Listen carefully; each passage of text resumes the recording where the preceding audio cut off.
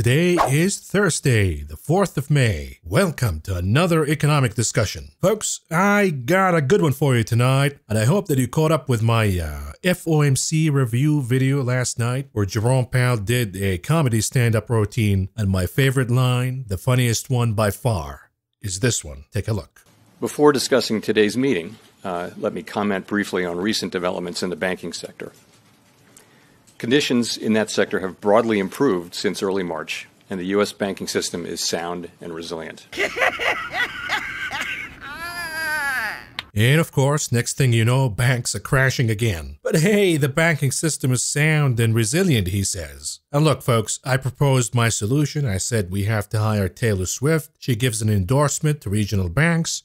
Boom, problem solved. But it appears that my solution did not land with the audience. A lot of you said, Maverick, you're out of your mind. Okay, then I guess we'll have to watch all of these banks blow up. Oh, wait a minute. Your beloved politicians and leaders, they got a new solution in hand. I was watching CNBC today, and I saw the former FDIC chair. I believe her name is Sheila Blair. And usually she is rational. Not today, though. Maybe the open bar idea was a mistake. I don't know, because here's what she said. On this uh, short selling ban, there's analysts. I mean, I just read an analyst note today where he's totally flipping out, talking about how short sellers are driving these banks to zero, and we have yeah. to intervene and slap a ban on this again. What would your right. response yeah. be to that uh, idea?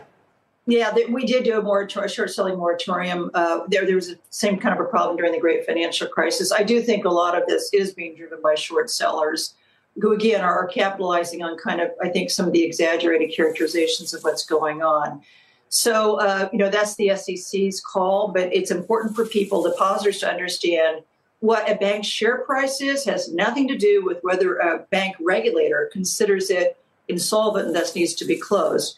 A bank capital determination is based on, on your book equity, basically at a high level. Whether your assets exceed your liabilities, these banks are, you know, that's okay uh, based on the current accounting rules, uh, there, you know, it's not apparent that there's an issue. So don't don't worry when you see a share price tank like that. A lot of it, I think, is being driven by short selling. It doesn't. It may or may not say that the bank is weak, but it doesn't have anything to do with the regulated, regulatory determination of whether a bank is insolvent and needs to be closed. Step in. Uh, again, a lot of this is being driven by fear uh, and not basic fundamentals about how healthy these banks are. So here it is, folks. Forget about bad management practices by these banks. Forget about the lack of oversight by the Fed. Forget about the fact that the SEC is in a coma. Forget about the White House being in, uh, well, another dimension. It's all about the shorts. It's the evil shorts. They're the one behind all of these banks collapsing all over the place. And we must get these shorts. We must ban shorting. We must find these shorts and lock them up in jail jail, just like China or Russia. You know, to uh, protect democracy, we have to impose a little bit of a tyranny. So, folks, I thought we should talk about this. So, why don't we do that? And here it is in focus tonight.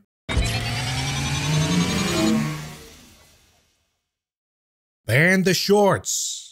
These are the guys who are responsible for all of this chaos. Without the shorts, we will have a beautiful, sound economy. No bank blowups, no companies going bust, and a stock market that goes all the way to the moon, baby. Hold your horses because uh, the bank in question today was Pacific Western Bank, also known as PacWest which happens to be located in Beverly Hills, California. And the headline by the New York Times says PacWest Bancorp, a mid-sized lender that has been under pressure after three of its larger peers failed this year, issued a statement overnight after its share price suddenly dropped, saying it was continuing to look to sell assets to shore up its finances. Um, wait a minute here. I thought the shorts are the bad ones. The shorts are the one causing all of this uh, problem with banks. Why is PacWest talking about uh, selling assets to shore up finances? What's going on here? Why are we talking about finances? This problem is all about the evil shorts. The breaking news says U.S. federal and state officials are assessing possible market manipulation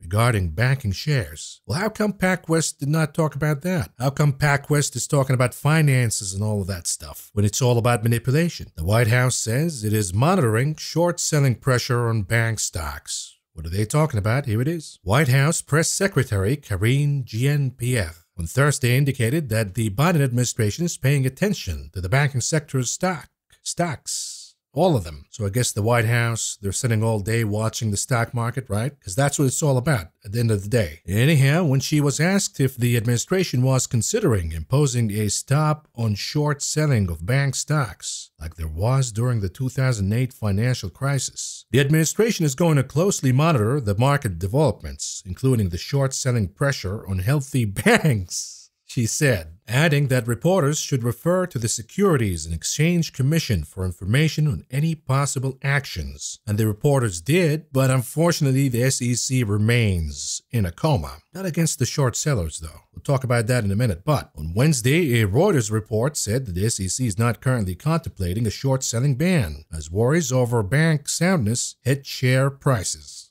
And here it is short selling comes under fire as regional banks sell off. Without these shorts, these regional banks will be at all time highs. It's all about the shorts again. SEC Chair Gary Gensler also told Reuters that the SEC is focused on identifying and prosecuting any form of misconduct that might threaten investors, capital information, or markets more broadly. then Chair Gensler went back to sleep. Reuters reported last month that many hedge funds secured high gains as First Republic, Silicon Valley Bank, and Signature Bank struggled. Oh, these uh, these greedy, evil shorts. If only somebody with authority can do something about them. While some market participants criticize the practice, others, like nonprofit group Better Markets, listen to this, said that short sellers warned markets about the challenges regional banks were facing. Turns out the shorts were warning us ahead of time there's a problem with regional banks. When the SEC, the FDIC, the Federal Reserve, the White House, the Treasury, all of them failed to spot the problem. The short sellers did the job, they did the research, they looked at the balance sheets and said, hey, folks, there's a problem here, and we're going to capitalize on that. That's what capitalism really means. Speculation goes both ways, up and down. Not in China, though. I mean, uh, America. And here it is. These shorts are rolling in cash. Short sellers rake in $1.2 billion in profits as U.S. regional bank stocks suffer. Look at all of these gains, baby. Hundreds of millions of dollars in Truist and PacWest, and Zions, Western Alliance, all of them. The shorts spend a lot of time doing research, looking at these balance sheets, and of course, just like everybody in this country, they're looking for profits. That's their job, the job that the SEC and the regulators don't do. They look at balance sheets, they look at books, they find problems, they find fraud, they capitalize on that. But is it really the shorts behind this problem in regional banks? Are the shorts causing deposits to get out of these banks? Or is it the fact that we have higher interest rates? And these banks are not paying depositors a competitive rate.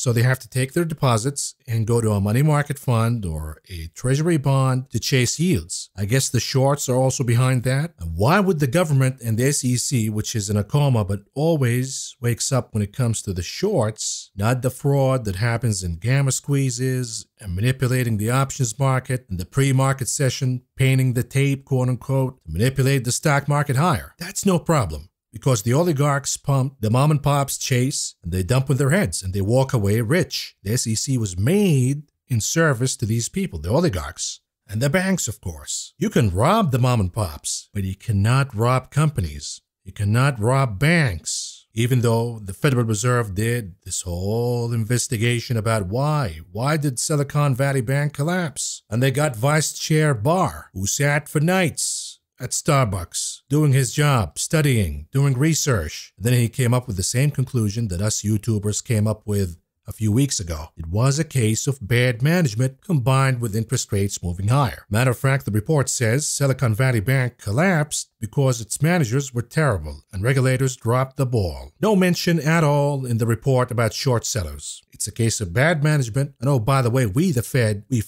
we were busy doing some insider trading. Oh, well, I'm sorry. Not supposed to talk about that either. Even Chair Powell said that SVB management failed badly and there is a need for changes to bank oversight. No mention at all about short sellers by Powell. So why the ban? You got the geniuses at the Duke School of Business, another business school that I got rejected from. But anyways, you know, because I'm not smart enough, right? And then I went to a public college instead and... Uh, the rest is history. We know who's laughing now. But the geniuses say if there is a right time to ban short selling, it is during a crisis. You know, like 2008, right? When the SEC came out in September 2008 and they banned short selling to protect banks and financial institutions. And uh, that was the beginning of the crash right there and then. SEC bans shorting, stock market crashes. You know why? Number one, if you're going to ban shorting, you're going to shake out the confidence in the stock market entirely, in these bank stocks altogether, because the holders are going to say, wait, wait, wait, wait a minute here. Why are they banning shorting right now? Is there something to hide? Number two, a lot of these rallies, a lot of this uh, dip buying is happening by shorts covering. You see, when you short a stock, you borrow whatever shares of whatever stock you're shorting at a certain price. You believe that in time, the share price of this stock that you're borrowing right now will be a lot lower. So you borrow now at the current market price and you sell these shares, and in time the stock goes down, gets cut in half, for example, then you buy it back and you give it back to the lender. The broker, the bank, whatever, and you pocket the difference. So you sell and then you buy later at a lower price. And the stock market holds because of this practice. The shorts sell, then they have to buy back. But if you ban the shorts, then it becomes a one way street. If there's panic in the stock market and the mom and pops, the institutionals are selling, well, who's buying if the shorts are not buying back? We see a crash. In other words, you want to ensure a crash in the stock market? Please go ahead and ban short selling. And of course, at the time, they banned short selling because Lehman Brothers was about to collapse, and there was this war about, oh, we're seeing all of these problems, Bear Stearns, Lehman Brothers going down because of the shorts, not because of bad management or gambling with the client's assets. Here's the CEO of Lehman Brothers back in the day. Take a look. If we get this right today, It will squeeze some of those shorts. And squeeze them hard. Not that I want to hurt them. Don't get that, please, because that's just not who I am. I am soft, I'm lovable. But what I really want to do is I want to reach in, rip out their heart, and eat it before they die.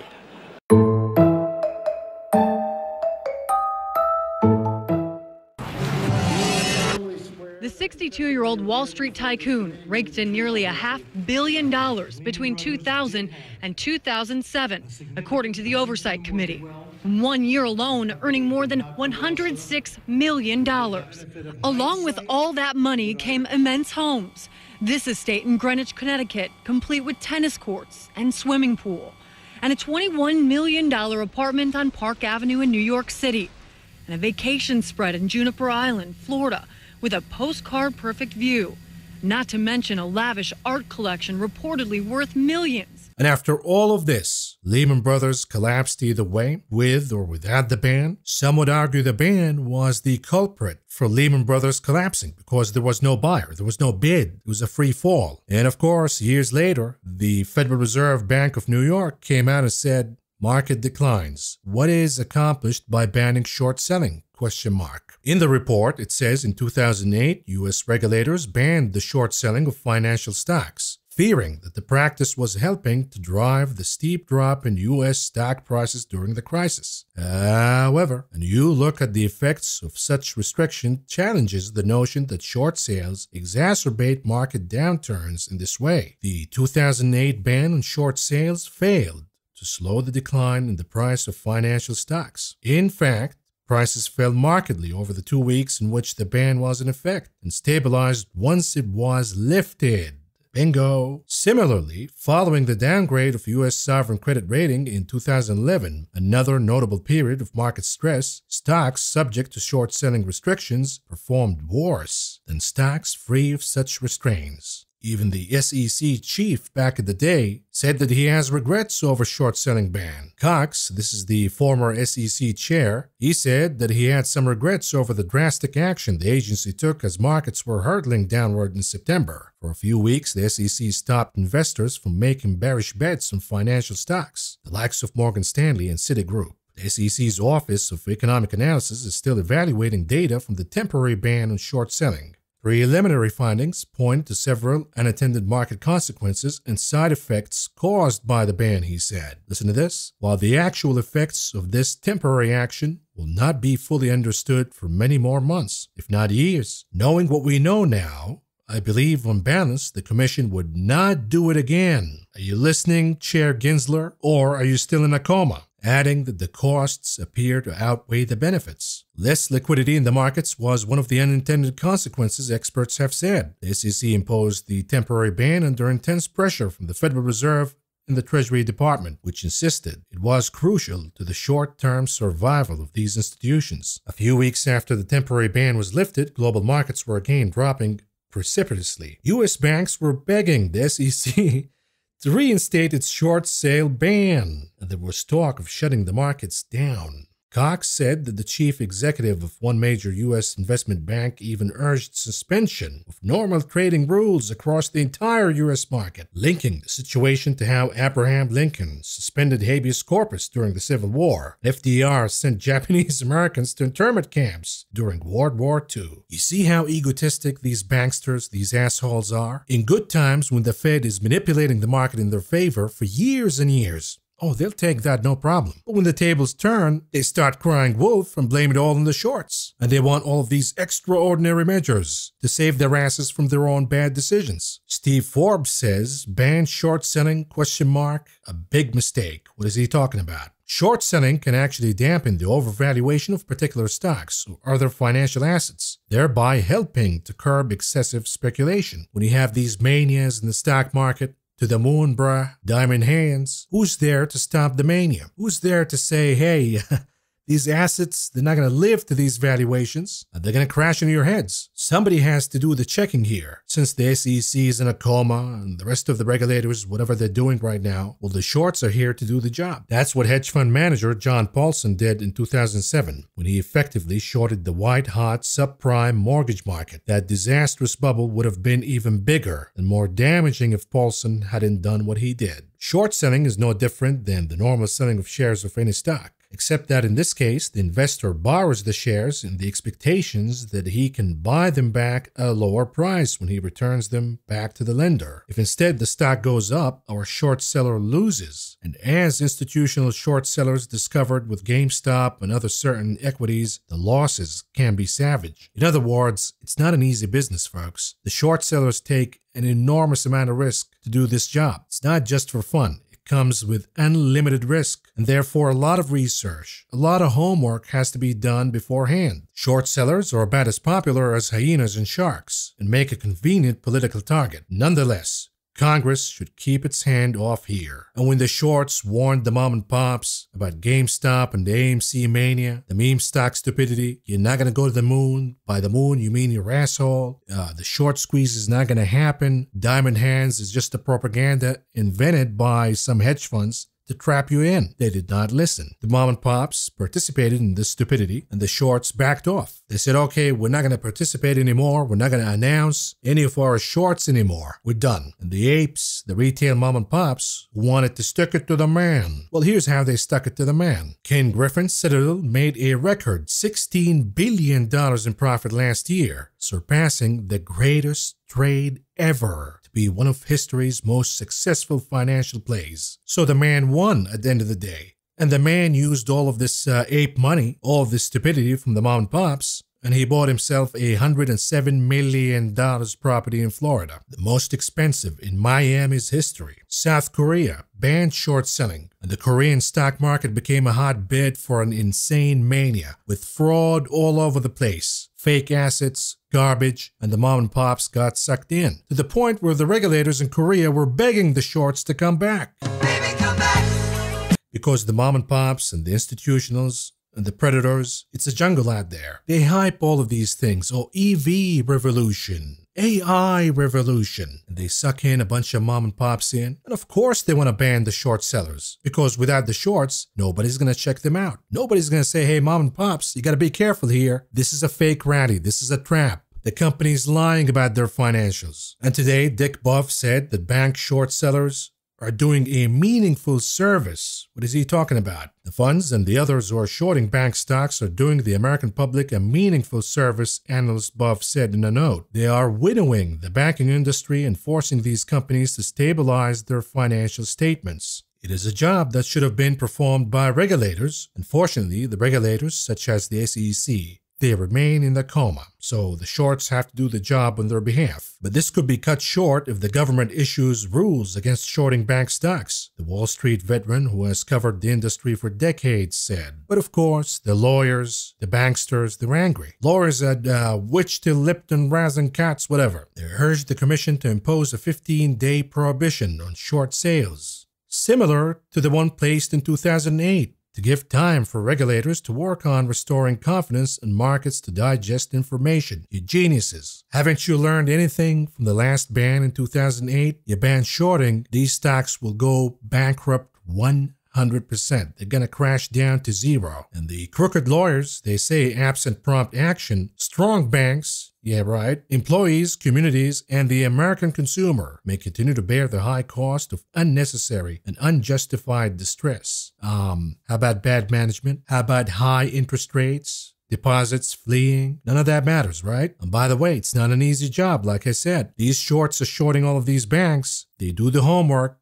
Sometimes it plays, sometimes it doesn't. Short sellers lost $64 million on one regional bank that refuses to crash. And this bank is the New York Community Bancorp. And let's end all of this with some words of wisdom from Jim Cramer, Yep, you heard it right. Jim Cramer. In 2008, Jimbo said, though Mr. Cramer's article did mention last year's repeal of the uptick rule, which made it easier to sell stocks short, he concluded that the real problem was that firms have made themselves vulnerable to negative rumors by short sellers. You simply can't bring down an honest, well-capitalized firm, he wrote. It will buy every share from you and take it right out of the backhand face. And I say, Amen.